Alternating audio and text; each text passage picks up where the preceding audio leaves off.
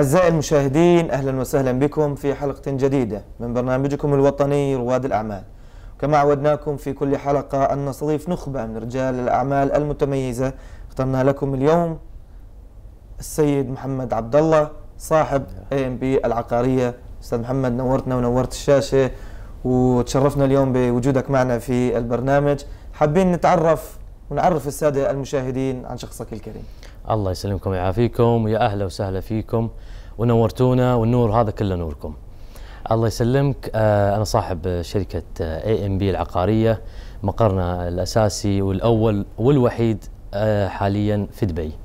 آه شركة AMB الله يسلمك أنشئت على أساس مساعدة خلينا نقول دعم الشباب في تملك عقارات في إمارة دبي خاصة. آه، وتقديم استشارات عقارية عامة لأي آه، مستثمر آه، ناوي يشتري عقار في الإمارات عامة.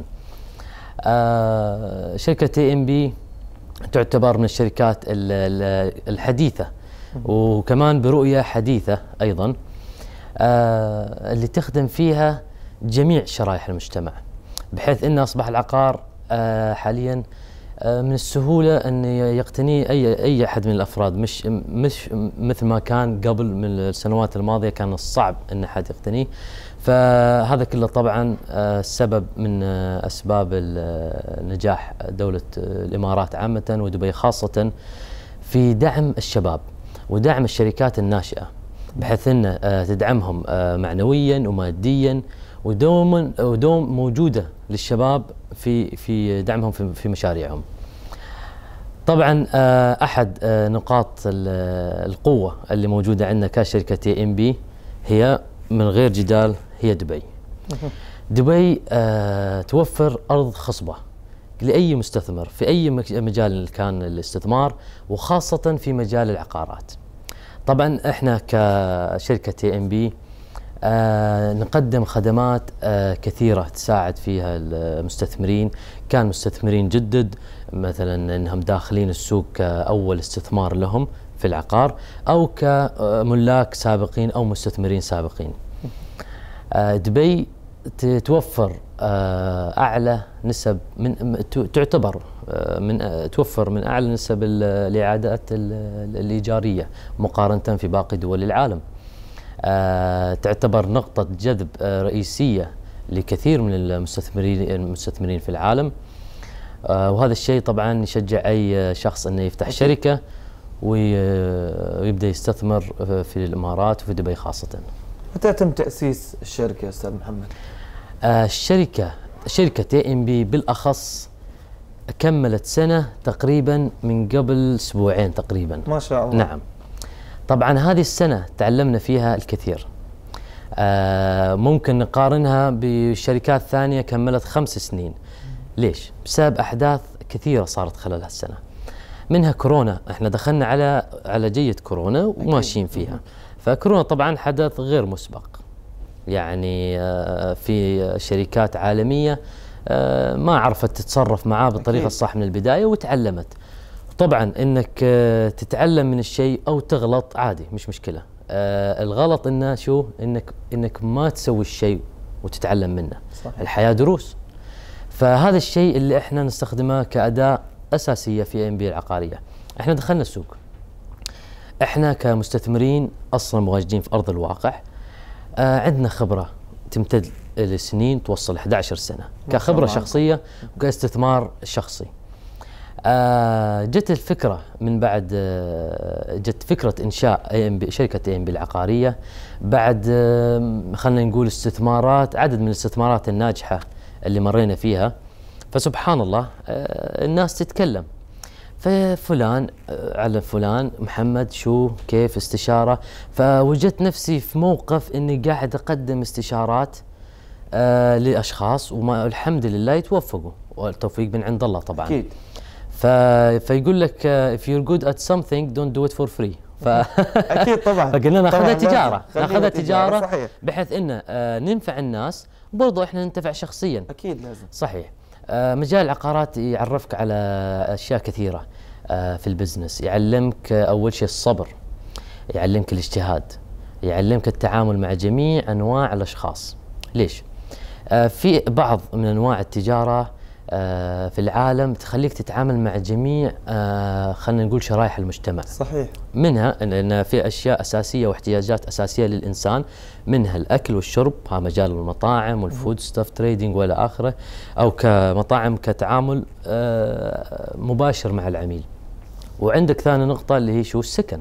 السكن الإنسان آخر شيء لازم يوجد له مكان يسكن طبعاً. فيه. فأنت تحصل نفسك إنك تتعامل مع جميع شرائح المجتمع. أستاذ محمد خبرنا أكثر عن الخدمات اللي تقدمها شركة AMB العقارية. شركة AMB العقارية آه، هي مختصة في ثلاثة أنواع من أنواع الخدمات الأساسية اللي نقدمها. آه، وكل آه، خدمة نوفرها في شيء مميز نقدمه معها. مثال أول خدمة إحنا نقدمها هي الاستشارات المجانية. الاستشارات العقارية اللي نقدمها جاية من خبرة سنين. والحمد لله آه كثير من الناس انتفعوا فيها.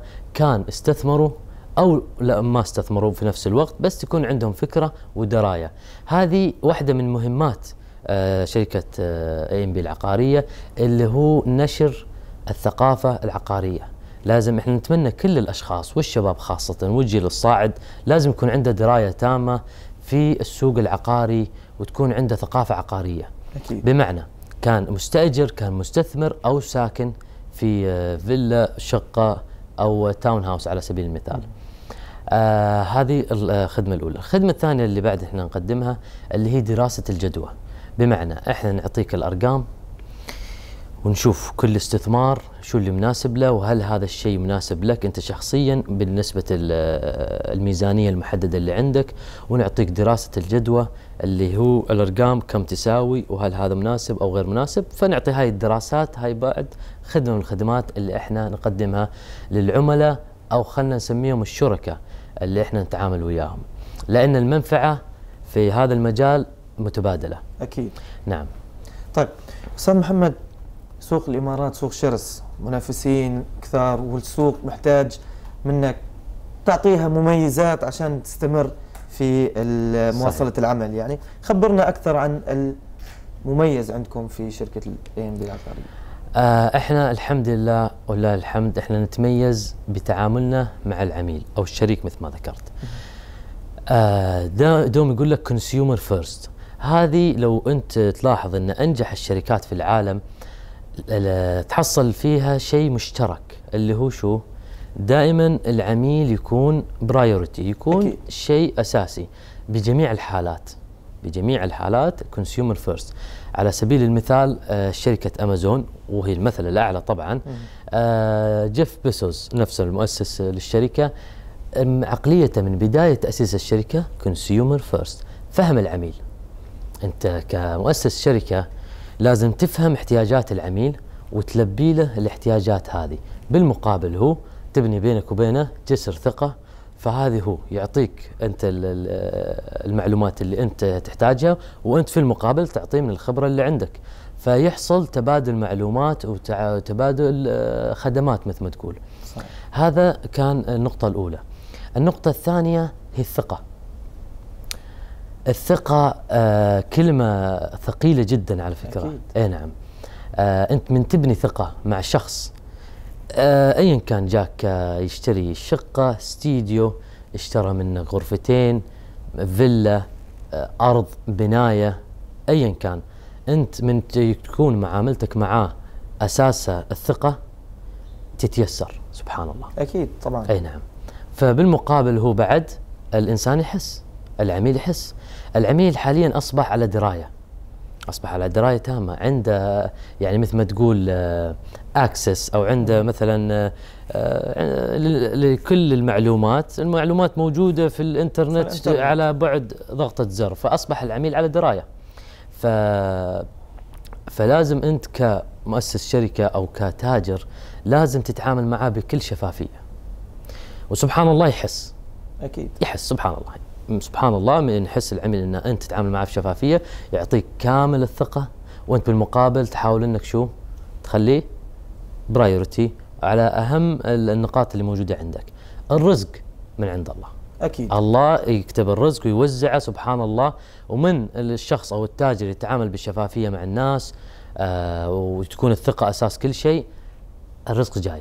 أما في بعض الحالات اللي الناس بعض الاحيان تحس انه آه، تخلي ال consumer يعني شيء آه ثاني يعني. مش شيء priority هاي آه ممكن تنقل صورة شيء سيئة. ممكن تفيد بعض الأشخاص في ال short term بس كالمدى الطويل لا لازم تبني ثقة وتبنيها وتبقى معك سنين. أي نعم. أستاذ محمد خبرنا أكثر عن أسباب النجاح. آه الحمد لله والتوفيق من عند الله. آه أحد الأسباب الرئيسية لنجاح شركة اي ام بي العقارية هي آه ثقة العميل. ودائما إحنا عندنا العميل اولا. آه من تخدم العميل صح يذكرك ويكلم ألف شخص. أكيد. وإذا وإذا خدمته في طريقة مش كويسة إذا كان شركة أخرى أو غيره يكلم 5000 شخص. هذه يعني أرقام يعني بس آه توضح لك إن كيف الشخص ممكن يستفيد أنت منه كتاجر بمعاملتك الواضحة اللي معاه آه وإنك تخلي مصلحته من مصلحتك. لازم. لازم تعيش وضعه. واحد. اثنين.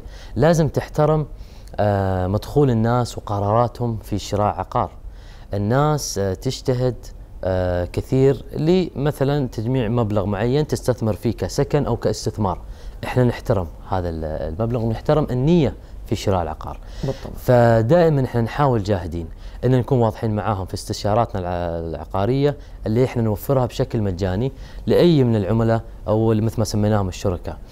آه فهذه أحد النقاط، النقطة الثانية والتوفيق من عند الله اللي هي الله يسلمك الاجتهاد. الاجتهاد ثم الاجتهاد ثم الاجتهاد.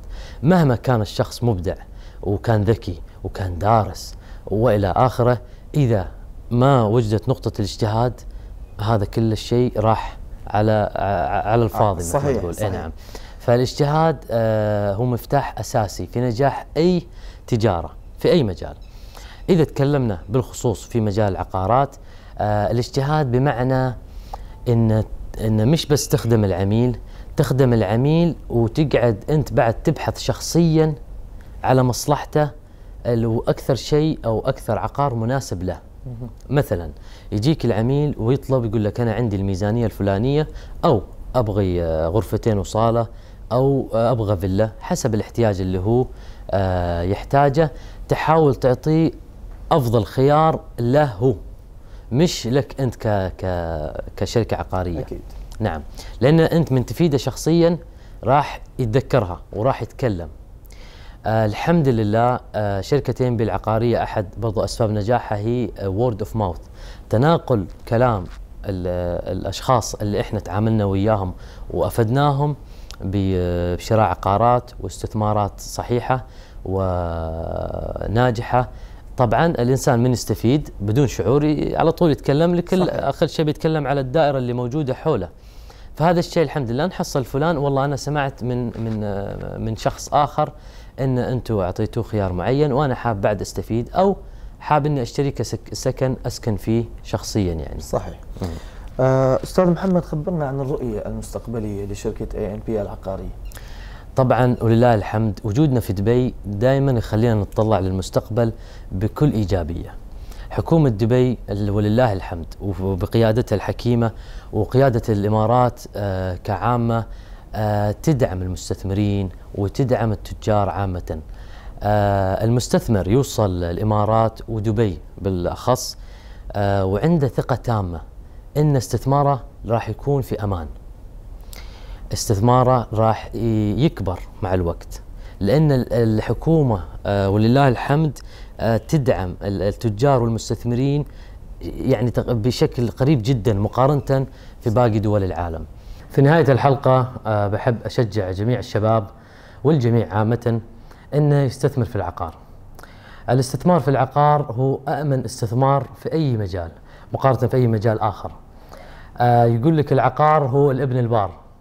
فدوم ممكن السوق يطلع أو ينزل بس بالأخير موجود عندك العقار آه، ما ما يقدر حد ياخذه منك ما يقدر آه، ومستحيل آه، ينزل سعره للصفر.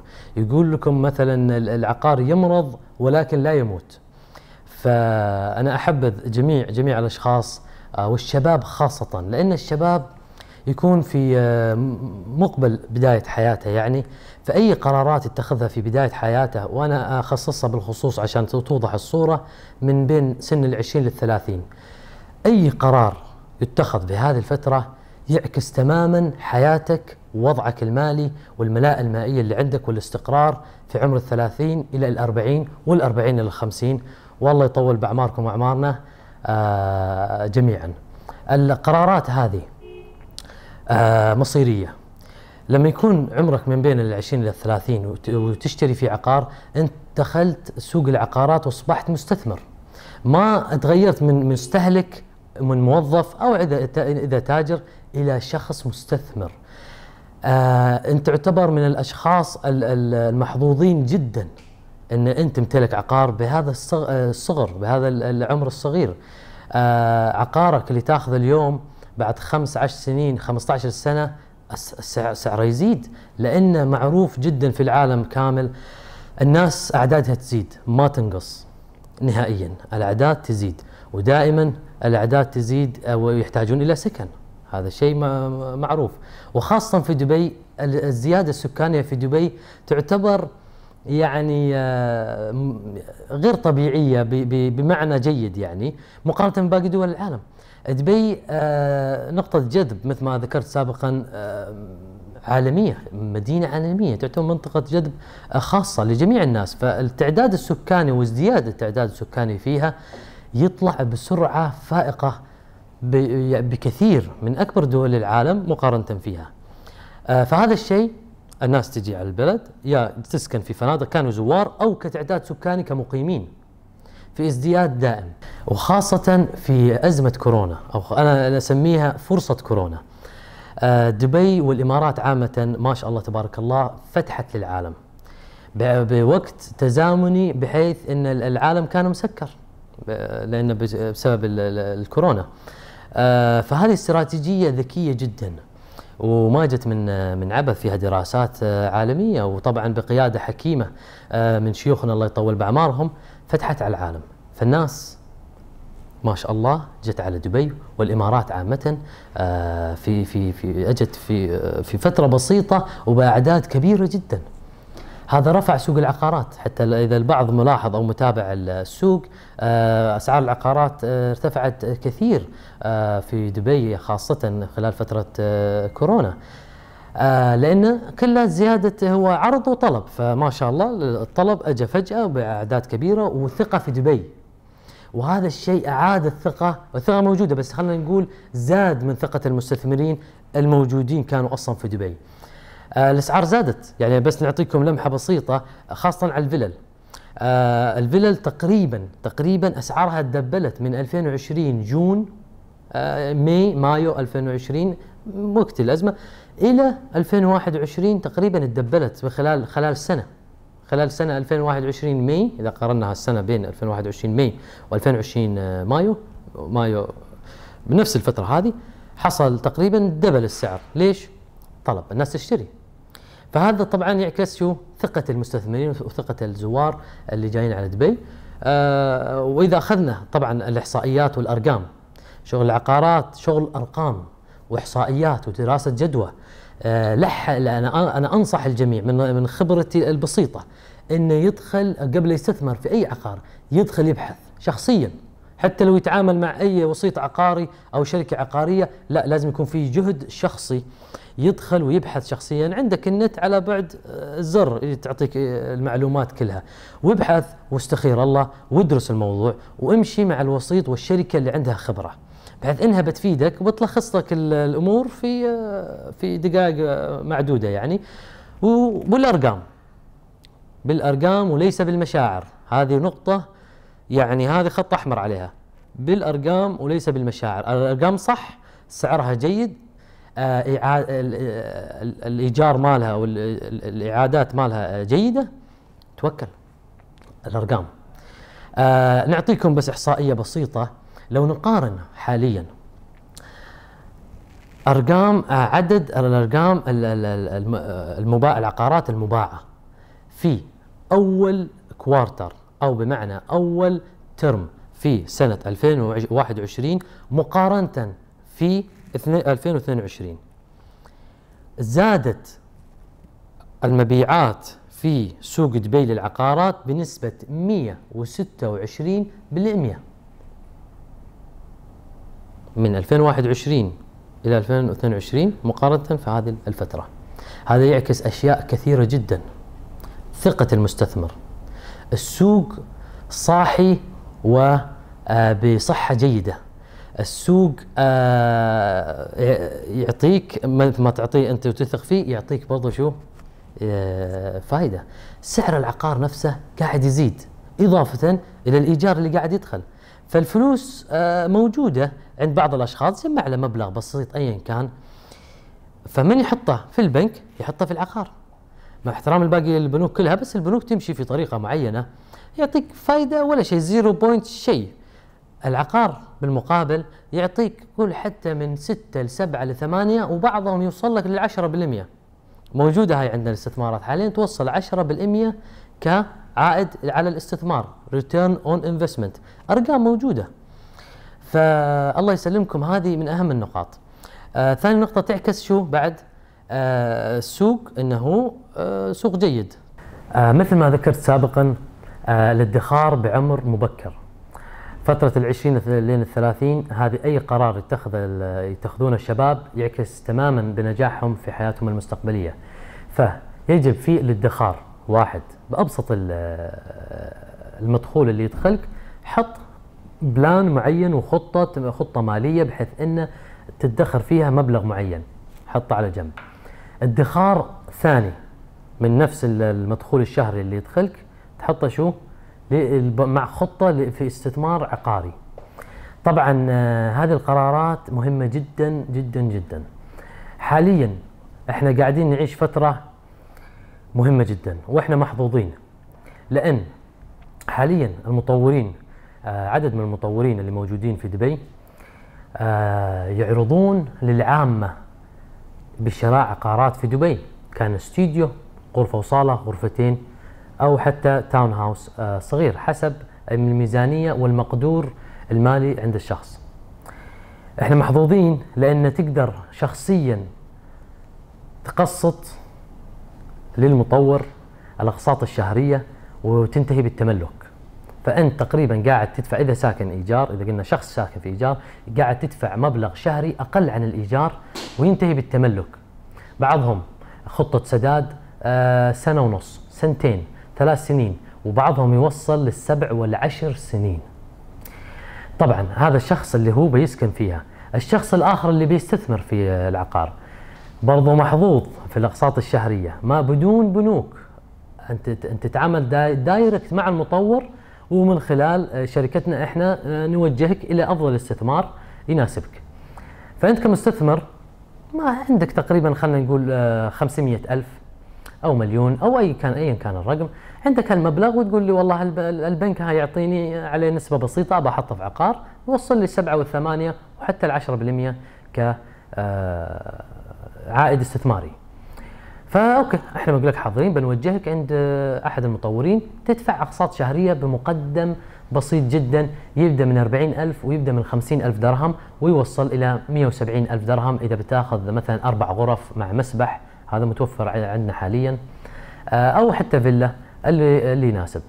آه، حاليا آه، أنت من تقدمها من تعطي المطور الدايركت ال 40000 أنت هني بدأت بأول قسط وبديت تصبح مستثمر عقاري وتملكت الشقة لحد ما تسلم لك بعد تقريبا سنة وأربع شهور أحد المشاريع عندنا. وعندنا بعضهم بعد سنة وست شهور وبعضهم بيسلم قريب آه، بحدود ست شهور.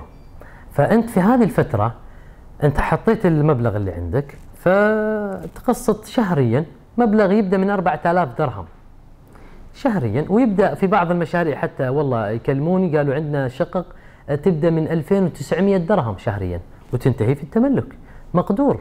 هاي 2900 ولا 4000 تنصرف. إذا كل شخص قعد ولاحظ إن كل شهر وين فلوسه تروح بيلاحظ إن في عنده مبالغ تروح آه، بأشياء لا تذكر. كان منها مطاعم أو ايا كان أشياء يعني ممكن واحد يستمتع بس بحدود المعقول ودائما يحط خطة مالية ويستثمر فيها بأشياء تفيده بعدين في المستقبل. أنت مالك عقار ما حد يقدر يلمسه انت مالك عقار ويجيك منه بعد الابن البار. يجيك منه عائد إيجاري يصرف عليك. فأرجع بس للنقطة إن هذا المش... من حد أخذ هذا العقار يكمل على أقساط شهرية وينتهي بعد ومن يستلم المشروع كان مثلا بعد سنة ونص أو سنة وأربع شهور يبدأ يعرضه للإيجار. إذا اخذه كاستثمار يعرضه للإيجار. فإحنا بعد من خدماتنا نعرضها عندنا في جميع البورتلز ونعرضها على العملاء الموجودين حاليا عندنا بحيث إن نحاول ناجر لك إياها بأقرب وقت ممكن. لأن الشقة إذا قعدت أسبوع أو شهر أو شهرين من غير إيجار هاي تعتبر خسارة. فإحنا نأجرها بأسرع وقت آه ويبدأ العائد الإيجاري يدخل. إحنا قلنا الأرقام فنعطيكم الأرقام بطريقة مبسطة. مثال عندك اخذت غرفة وصالة. ب 500 ألف درهم. نعم عندنا حاليا عرض شقة وصالة مع شركة بنغاطي ب 500 ألف. باختصار هاي 500 ألف أنت ما حطيتها كلها حطيتها بأقساط. أقساطها 5000 شهريا. تقريبي هالرقم. آه بحيث إنه شو 5000 وكسور يعني. آه تدخل فيها تسلمها لحد ما تستلم المشروع. استلمت المشروع بعد سنة وأربع شهور تبدأ تعرضها للإيجار مثل ما ذكرت. من انت تأجرها؟ تقدر تأجر الغرفة والصالة بحدود 6000 شهريا. وإذا فرشتها سويت بس سرير أو شيء هذا الشيء طبعا إحنا آه، ننصح فيه الناس إنه بس يحط شوي سرير وأشياء يحط شيء مرتب يسويها فرنشت مفروشة ويعرضها للإيجار توصل ل 8000 9000 فأنت باقي الأقساط السنة أو السنة ونص أو السنتين بعد استلام الشقة 5000 شهريا تدفعها حق المطور وتبقى عندك ثلاثة وتوصل لأربعة ألف درهم مصروف شهري. الأشخاص ال ال ال الأذكياء والمستثمرين الناجحين دوم يفكروا كيف أنا ممكن أنمي رأس المال اللي عندي. الفلوس المال يخسر قيمته مع الوقت مهما كان في جميع أنحاء العالم في شيء اسمه انفليشن أو خلينا نقول معناها في العربي آه، يعني ان ما معناها إن الفلوس تفقد قيمتها مع الوقت لأن الحياة تغلى ويبقى ال 100000 نفسها. ال 100000 درهم أو ال 10000 درهم قبل 10 سنين مو بنفس اليوم وقبل 30 سنة مو بنفس اليوم. النقطة الثانية إن هذه الشقة آه بتكون معاك. وتقدر تبيعها بعدين. مثل ما ذكرت الناس في ازدياد التعداد السكاني يزيد وخاصة في دبي يزيد بطريقة غير طبيعية يعني طريقة جيدة جدا لأن آه، آه، محط أنظار العالم كله. كل حد يتمنى يعيش في دبي. شركات عالمية في دبي عندها آلاف الموظفين. وين بيسكنون؟ في دبي. فممكن أنت تعيد بيع هذه الشقة بعد فترة معينة وقت ما يناسب. من خ... برضه هاي خدمة إحنا نوفرها إعادة بيع العقار نفسه. أخذت اليوم غرفة وصالة ب 500 ألف اكتمل فيها الأقساط استلمت منها آه خلينا نسميه معاش شهري 3000 4000 وبعدين تعيد بيعها في السوق بربح اخذتها ب 500 ألف غرفة وصالة ترد تبيعها سعر السوق حاليا 650 إلى 700 ألف حاليا. فممكن أنا أتوقع تقريبا إحنا عندنا طبعا دراسات وبنعرضها عليكم ممكن تتواصلوا معنا بأي وقت عندنا كل شيء أرقام و... وناخذ دراسات من شركات عالمية نتواصل معاهم إيميلات أرقام ما شاء الله عليها ما شاء الله واقعية واستنادا على أرقام آه، سابقة.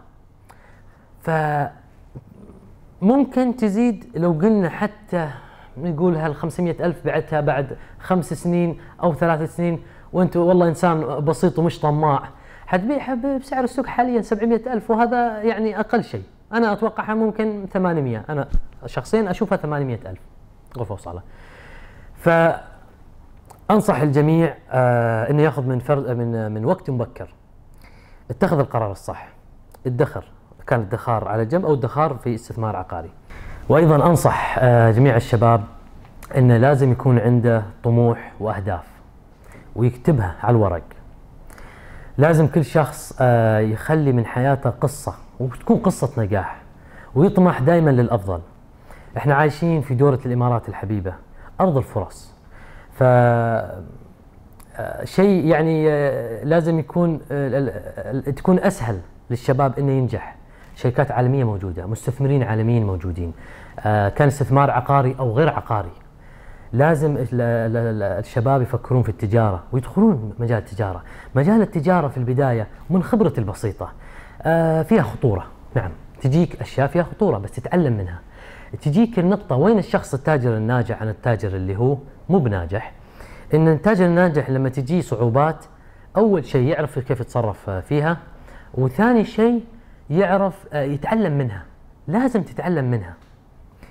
انت هذه المواقف والصعوبات اللي تواجهها آه، دروس لك في المستقبل بحيث إنه لو صارت لك مرة ثانية بتعرف تتصرف بتوفر عليك وقت وجهد وتغلط.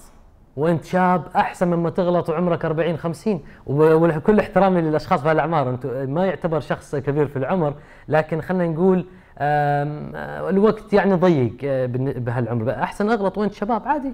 آه، حتى الصدمة أخف تكون في عمر العشرين إلى الثلاثين أو الثلاثين إلى الأربعين.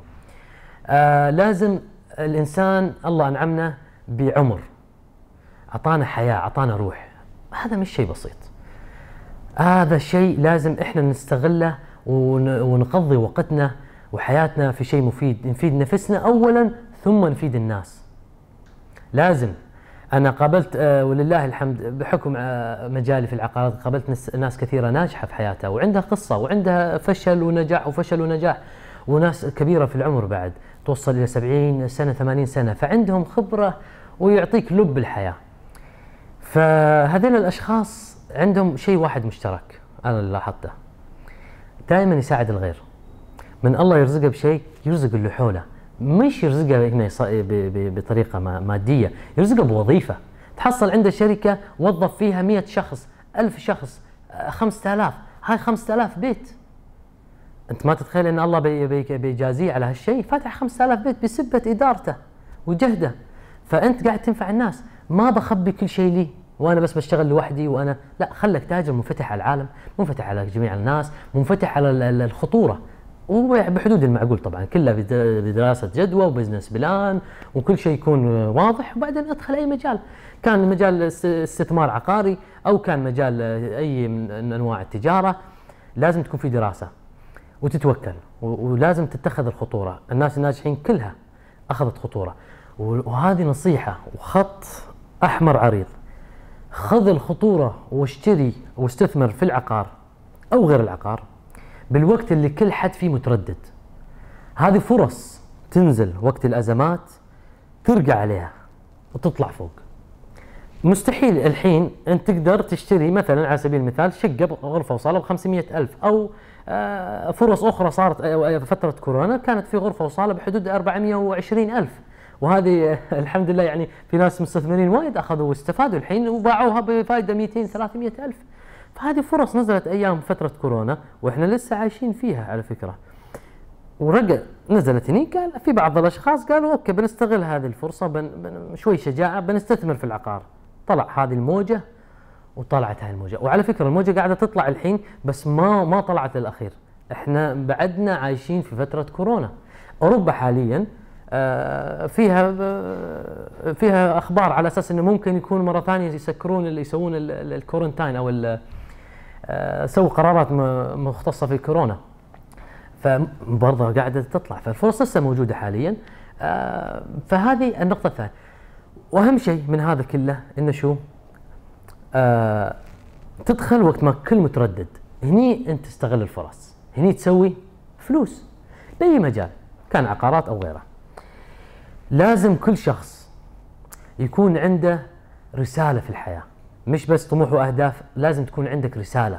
خلك أنت اللي يذكروك بكرة بعده بعد عمر مديد. يقول لك والله الله يذكره بالخير. سوى وعمل ونفع وكان من أكبر الناس. ليش؟ اذكر. خلي مش بس عائلتك ومجتمعك والناس اللي حولك يذكرونك. ليش مش التاريخ يذكرك؟ يعني هذا الشيء الناس كلها تعيشه وجميع الناس العظماء والقياديين. كان في أي مجال من المجالات طموحهم كان وصلوا لمرحلة من النجاح إنه طموحه يبى يتخلد أو خلينا نقول يذكر بعد سنين عديدة فيروح يكتب كتاب يروح فعشان يذكر فهذه لازم تكون عندك رسالة إنك تصبح آه، شخص يذكر آه، بإنجازاته إنه نفع الناس وسوى وعمل وأنجز. ليش لا؟ رسالة في الحياة لازم لأن الحياة هذه لازم واحد يعلقها بهدف بعدة أهداف برسالة عامة فيها. الشيخ زايد طيب الله ثراه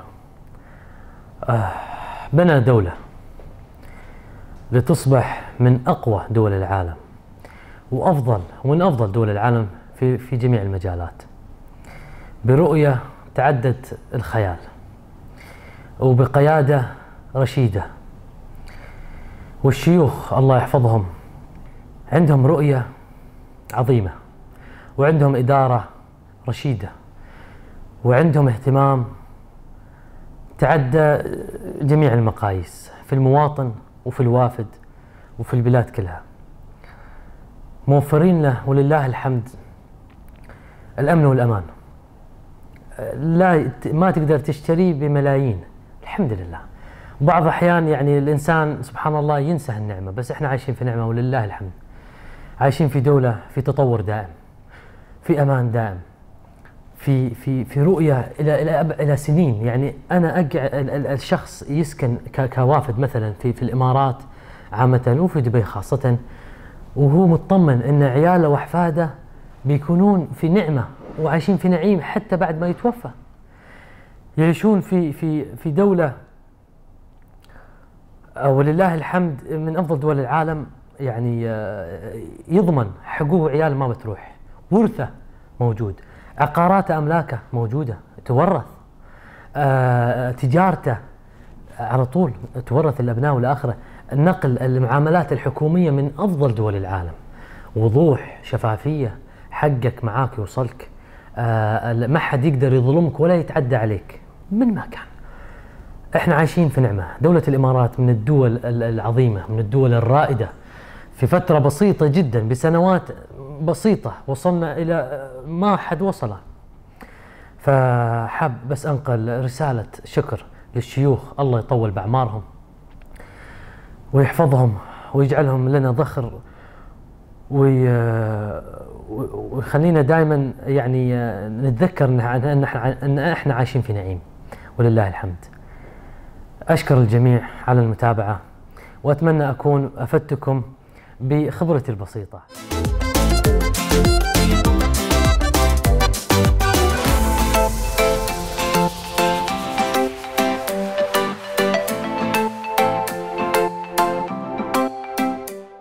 محمد خبرنا عن كيفية التواصل مع شركة AMB العقارية. طبعا من خلال موقعنا الإلكتروني ومن خلال مواقع التواصل الاجتماعي. طبعا جميع أرقام التواصل والموقع سوف يظهر أسفل الشاشة.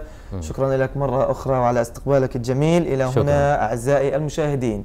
هنا حلقتنا الأسبوعية مع ضيفنا المميز أستاذ محمد. تابعونا كل جمعة والسبت على قناتكم ABC العربية. دمتم بخير وفي أمان الله.